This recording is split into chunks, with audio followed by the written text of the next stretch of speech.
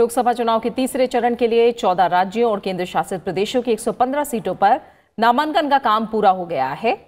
तीसरे चरण के लिए आज नामांकन पत्रों की जाँच होगी। नाम वापसी की आखिरी तारीख 8 अप्रैल है। इन सीटों पर 23 अप्रैल को मतदान होगा। 23 अप्रैल को तीसरे चरण में 115 सीटों पर मतदान होगा। इस चरण में गुजरात की 26, केरल की 20, महाराष्ट्र और कर्नाटक की 14 14 सीटों पर उत्तर प्रदेश की 10 सीटों पर वोटिंग होनी है। साथ ही छत्तीसगढ़ की सात सीटें, ओडिशा की छह, पश्चिम बंगाल और बिहार की पाँच पाँच। असम की चार सीटों पर भी मतदान है। इसके अलावा गोवा की दो, जबकि जम्मू कश्मीर दादर नागर हवेली और दमन दीव की एक एक सीट पर भी मतदान होगा। इस दौर में कई दिग्गज उम्मीदवार चुनाव मैदान में हैं, जिन दिग्गज उम्मीदवारों पर सबकी नज़रें हैं। उनमें गांधीनगर लोकसभा सीट से बीजेपी अध्यक्ष अमित शाह, वायनाड सीट से कांग्रेस अध्यक्ष राहुल गांधी, ओडिशा के पुरी लोकसभा सीट से संबित पात्रा, उत्तर प्रदेश के रामपुर से जयप्रदा, पश्चिम बंगाल की जंगीपुर लोकसभा सीट से अभिजीत मुखर्जी, मैनपुरी लोकसभा सीट से समाजवादी पार्टी के मुलायम सिंह यादव और पीलीभीत से वरुण गांधी का नाम शामिल है। वहीं उड़ीसा विधानसभा के तीसरे चरण की 42 सीटों के लिए भी नामांकन का काम पूरा हो गया और आज नामांकन पत्रों की जाँच होगी। ओडिशा में लोकसभा के साथ ही विधानसभा चुनाव की विधानसभा चुनाव भी चार चरणों में होंगे।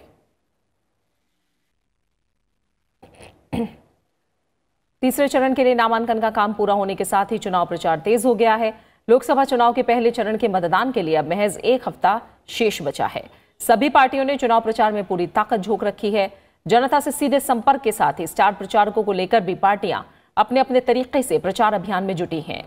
प्रधानमंत्री लोकसभा चुनाव के प्रचार रण में आज धुआंधार प्रचार करते नज़र आएँगे। प्रधानमंत्री नरेंद्र मोदी आज उत्तर प्रदेश और उत्तराखंड में पार्टी के लिए चुनाव प्रचार करेंगे। उत्तर प्रदेश के अमरोहा और सहारनपुर में भी चुनावी सभाओं को संबोधित करने का उनका कार्यक्रम है। उत्तर प्रदेश के मुख्यमंत्री योगी आदित्यनाथ सहारनपुर रैली में मौजूद रहेंगे। साथ ही नोएडा से बीजेपी के उम्मीदवार और केंद्रीय मंत्री महेश शर्मा, गाजियाबाद से उम्मीदवार वीके सिंह और सहारनपुर से राघव लखनपाल भी मौजूद रहेंगे। सहारनपुर में बीजेपी ने राघव लखनपाल और अमरोहा में कंवर सिंह तंवर को उम्मीदवार बनाया है। इसके बाद प्रधानमंत्री उत्तराखंड के देहरादून में पार्टी के लिए प्रचार करेंगे। उत्तराखंड की सभी पाँच सीटों पर 11 अप्रैल को पहले चरण में मतदान होगा। उत्तर प्रदेश के सहारनपुर में 11 अप्रैल को और अमरोहा में 18 अप्रैल को दूसरे चरण में मतदान होगा। प्रधानमंत्री नरेंद्र मोदी ने एक बार फिर कांग्रेस के घोषणा पत्र पर निशाना साधा है। उन्होंने कहा कि कांग्रेस के घोषणा पत्र में सेना का मनोबल तोड़ने की बात कही गई है। प्रधानमंत्री नरेंद्र मोदी ने एक निजी न्यूज़ चैनल से बातचीत के दौरान ये बात कही। देश के जो अपोलिटिकल लोग हैं इंटेलेक्चुअल्स हैं, इकोनॉमिस्ट हैं, मीडिया के लोग हैं, उन सबने कांग्रेस के ट्रैक रिकॉर्ड को एक बार देश के सामने रखना चाहिए। और उस ट्रैक रिकॉर्ड को देखने के बाद तय करना चाहिए भी ये करने योग्य है कि करने दूसरा ढकोसला पत्र कहने के पीछे मेरा, मेरे बहुत मुझे दर्द हुआ कि कांग्रेस जैसी पार्टी राष्ट्रीय सुरक्षा के मुद्दों पर मैनिफेस्टो में ऐसी बात करे। देश की सेना को इतना जलील करें। बलात्कार के आरोप वाली बातें करें। ये शोभा देता है क्या? इस देश को गर्व है। और सवाल मोदी सरकार का नहीं है। इतने सालों का, आज़ादी के बाद का मैं कहता हूँ। Peace keeping force United Nations का। आज दुनिया में सबसे अधिक पार्टिसिपेशन है तो भारत के सिक्योरिटी फोर्सेस का है। वित्त मंत्री और बीजेपी नेता अरुण जेटली ने एक बार फिर कांग्रेस के घोषणा पत्र को लेकर हमला बोला है। अरुण जेटली ने ब्लॉग लिखा है कि नेहरू गांधी परिवार की परंपरा रही है कि वो प्रेस की स्वतंत्रता को सीमित करने की कोशिश करते हैं। इसमें इंदिरा गांधी का कदम जग ज़ाहिर है। इस कड़ी में आगे घोषणा, कांग्रेस घोषणा पत्र है जो संस्थानों को खत्म करने और आतंकवादियों की मदद की बात कह रहा है। इसमें मीडिया में एकाधिकार को रोकने और प्रेस की आज़ादी पर लगाम लगाने के लिए कानून बनाने की बात करता है। इसमें कहा गया है कि वेबसाइट, टीवी, चैनल और समाचार पत्र के एक साथ स्वामित्व को प्रतिबंधित किया जाएगा। अरुण जेटली ने कहा कि कांग्रेस के घोषणा पत्र में जो सुझाव दिए गए हैं, वो एक और मीडिया की आज़ादी को सीमित करेगा। वहीं दूसरी तरफ़ आतंकवादियों और अलगाववादियों को नई सुविधा मुहैया कराएगा। लोकसभा चुनाव के लिए चुनावी सरगर्मियाँ अपने चरम पर हैं और प्रचार के लिए अब कुछ ही दिन बचे हैं।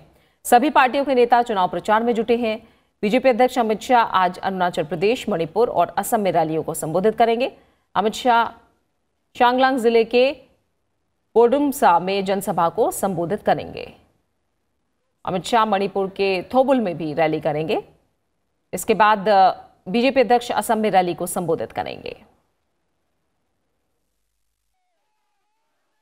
वहीं कांग्रेस अध्यक्ष राहुल गांधी आज महाराष्ट्र में प्रचार करते नज़र आएँगे। राहुल गांधी पुणे में, भारतीय विद्यापीठ कैंपस में छात्रों के साथ संवाद करेंगे। साथ ही कांग्रेस अध्यक्ष चंद्रपुर और वर्धा में रैलियों को संबोधित करेंगे।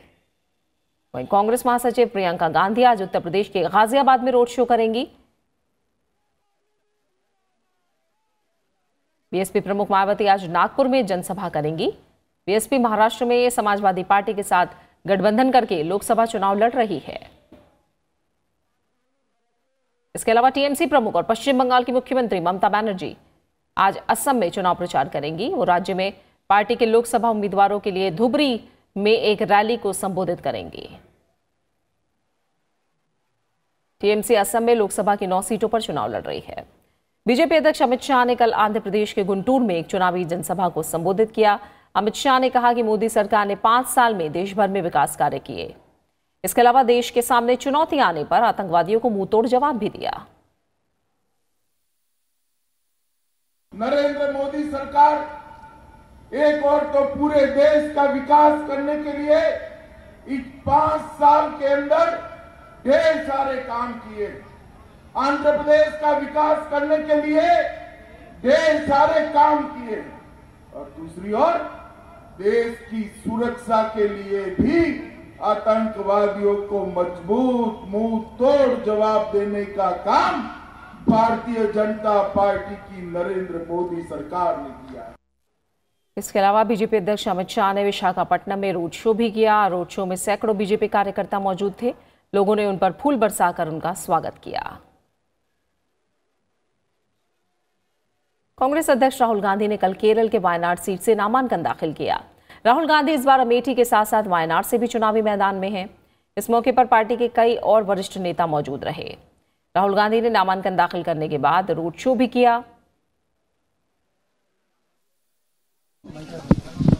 I have come to Kerala to send a message that India is one country. South, North, East, West, Center is one country. इसके बाद राहुल गांधी महाराष्ट्र पहुँचे और नागपुर में चुनावी रैली को संबोधित किया। राहुल गांधी ने कहा कि अगर उनकी पार्टी सत्ता में आती है तो श्रमिकों के लिए न्यूनतम आय सुनिश्चित करेगी। साथ ही कहा कि विशेषज्ञों से विचार विमर्श करने के बाद चुनाव घोषणा पत्र में न्यूनतम आय योजना का वादा किया गया है। बहत्तर हज़ार रुपए।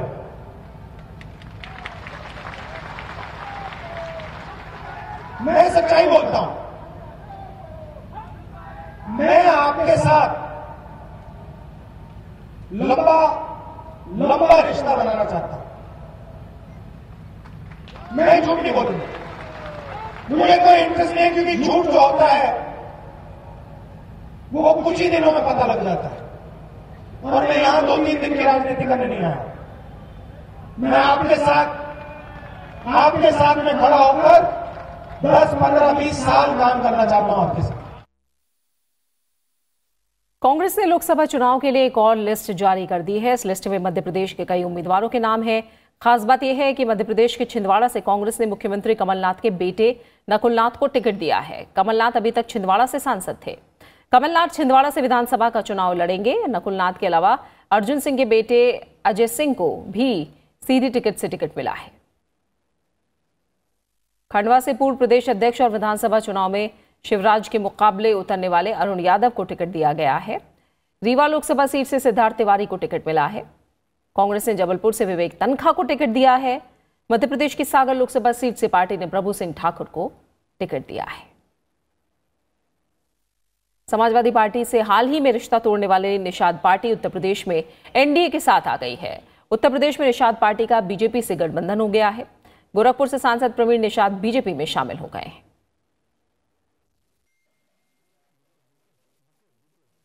वहीं तेलंगाना से कांग्रेस के पूर्व सांसद आनंद भास्कर रापोलू भी कल बीजेपी में शामिल हो गए। रापोलू ने केंद्रीय स्वास्थ्य मंत्री जेपी नड्डा की मौजूदगी में वो पार्टी में शामिल हुए। वहीं राजस्थान में बीजेपी और राष्ट्रीय लोकतांत्रिक पार्टी के साथ भी बीजेपी का गठबंधन हो गया है। पश्चिम बंगाल की मुख्यमंत्री ममता बनर्जी ने केंद्र सरकार पर हमला बोला है। उन्होंने राष्ट्रीय नागरिक रजिस्टर एनआरसी की जोरदार आलोचना की और कहा कि वो बंगाल में एनआरसी की अनुमति कभी नहीं देंगी। टीएमसी प्रमुख ने प्रधानमंत्री पर तानाशाही रवैया अपनाने का आरोप लगाया। उन्होंने कहा कि पिछले चुनाव में बीजेपी ने जो वादे किए थे, उन्हें पूरा नहीं किया गया। ममता बनर्जी ने कहा कि बंगाल सरकार ने बांग्लादेश के साथ इनक्लेव हस्तांतरण के मुद्दे को हल किया है। बुधवार को प्रधानमंत्री नरेंद्र मोदी ने बंगाल में रैली करके ममता बनर्जी को राज्य के विकास में स्पीड ब्रेकर बताया था।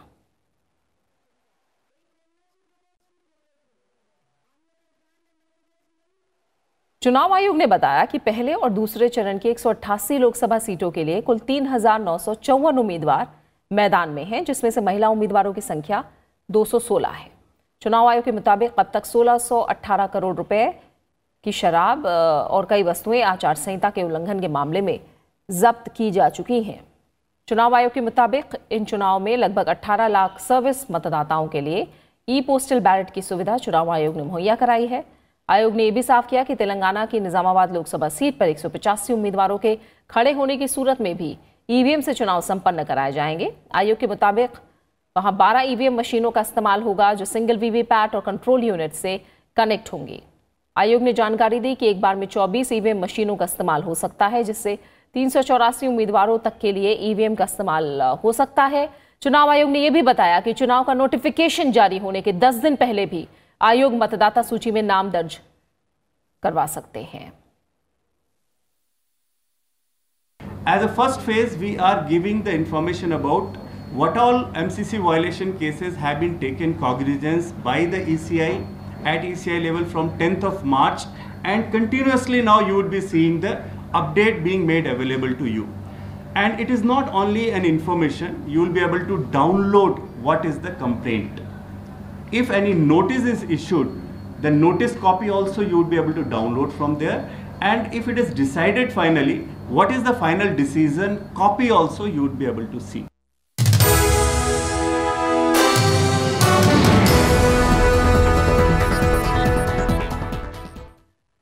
और अब बात चुनाव स्पेशल की बिहार के पटना की दोनों लोकसभा सीटों पर एनडीए और महागठबंधन के बीच कड़ा मुकाबला है लेकिन यहाँ आरजेडी को पार्टी के भीतर की गुटबाजी का सामना करना पड़ रहा है। उम्मीदवारों के नामों को लेकर भी कार्यकर्ताओं में असहजता है। बिहार की राजधानी पटना में लोकसभा की दो सीटें हैं, पटना साहिब और पाटलिपुत्र। पटना साहिब शहरी सीट है, इसमें छह विधानसभा सीटें आती हैं। करीब 21 लाख मतदाताओं में ओबीसी और कायस्थ वोटर की बड़ी आबादी है। बीजेपी ने इस बार यहाँ से शत्रुघ्न सिन्हा का टिकट काटकर रविशंकर प्रसाद को मैदान में उतारा है। वही माना जा रहा है कि शत्रुघ्न सिन्हा कांग्रेस में शामिल होकर यहाँ से महागठबंधन के उम्मीदवार हो सकते हैं। रविशंकर प्रसाद पिछले कई सालों से पटना में सक्रिय हैं। वादा करते हैं उसे पूरा किए हैं और 22 तक की पूरा करेंगे। बस इसको दीजिए हम सहमत हैं। पढ़ने के लिए एजुकेशन लोन दिए हैं चार लाख रुपया हाँ। जो हम लिए हैं। हाँ। कोई नहीं है कि जो दिया है। हाँ। बहुत दिन जो लाइट गाँव में रहता है कभी कट कटबे नहीं करता है। रोड ऐसा बनाए हैं कि गाड़ी एकदम आराम से चल जाता है। किसी भी कीमत पर शत्रुघ्न सिन्हा को एक कमज़ोर उम्मीदवार नहीं माना जाना चाहिए, जो बीजेपी के कट्टर समर्थक हैं, जिनकी संख्या पटना शहर में काफ़ी है।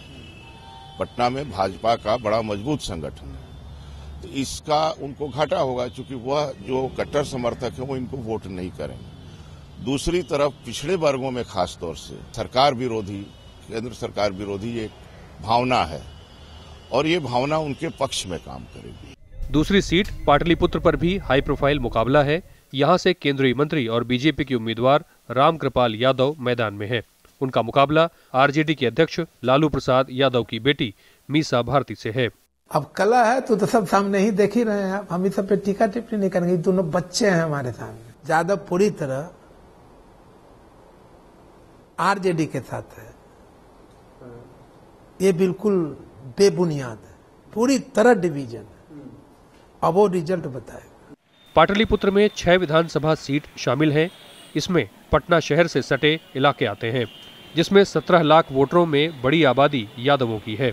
पटना में आईआईटी, एम्स ईएसआई हॉस्पिटल समेत कई विकास कार्यों का फ़ायदा बीजेपी को मिल सकता है। रामकृपाल जी एक बहुत मज़बूत उम्मीदवार हैं। और इसमें कोई शक नहीं है कि उनको हराना आसान नहीं होगा। और खासतौर से इस, जो विकास में उसका लाभ भी उनको मिलेगा, फिर भी पिछले चुनाव के मुकाबले में मीसा भारती की स्थिति ज़्यादा अनुकूल है। मीसा भारती को सीपीआई एमएल के महागठबंधन में शामिल होने का फ़ायदा मिल सकता है। आरजेडी ने तालमेल में सीपीआई एमएल को आरा सीट दी है। अखिलेश सुमन, राज्यसभा टीवी। बीजेपी के उत्तराखंड प्रभारी और केंद्रीय मंत्री थावरचंद गहलोत ने केंद्र में एक बार फिर नरेंद्र मोदी की सरकार बनने का दावा किया है। उन्होंने कहा कि पिछले पाँच साल में समाज के हर वर्ग के लिए विकास के काम किए गए हैं। राज्यसभा टीवी से खास बातचीत में उत्तराखंड के बीजेपी प्रभारी थावरचंद गहलोत ने राज्य में फिर से पाँचों सीटें जीतने का दावा भी किया। सर आप घूम रहे हैं। क्या क्या मुख्य मुद्दे हैं जो उत्तराखंड में आपको दिखाई दे रहे हैं? देखो उत्तराखंड में नरेंद्र मोदी जी की सरकार बनने के बाद और यहाँ त्रिवेंद्र सिंह जी रावत की सरकार बनने के बाद तेज गति से चहुमुखी विकास हुआ है। देश के साथ साथ उत्तराखंड ने भी विकास की गति को आगे बढ़ाने में सफलता प्राप्त की है। सारे देश का माहौल नरेंद्र मोदी जी को फिर से प्रधानमंत्री बनाने के पक्ष में है। उत्तराखंड में भी वैसा ही वातावरण है। पाँचों लोकसभा क्षेत्र उत्तराखंड की भारतीय जनता पार्टी जीतेगी। पूर्व सैनिकों का ये गढ़ कहा जाता है सर। उनके लिए सरकार की तरफ़ से किए गए कामकाज के बारे में सैनिकों और पूर्व सैनिकों और उनके परिवारों के लिए नरेंद्र मोदी जी ने ऐतिहासिक कार्य योजना बना करके सफलता प्राप्त की है। विशेषकर वन रैंक वन पेंशन और उसका लाभ 90 परसेंट से अधिक सैनिक परिवारों को मिल रहा है। इसके कारण सेना भारतीय जनता पार्टी के अनुकूल दिखाई दे रही है। सेना के परिवार के लोग भी भारतीय जनता पार्टी के अनुकूल दिखाई दे रहे हैं। ये हैं थावरचंद गहलोत जी, जिनका कहना है कि देश में जिस तरीके का माहौल बना है, वो बीजेपी के पक्ष में है। हरिद्वार से कैमरामैन प्रशांतों के साथ रविंद्र सिंह शोराण राज्यसभा टीवी।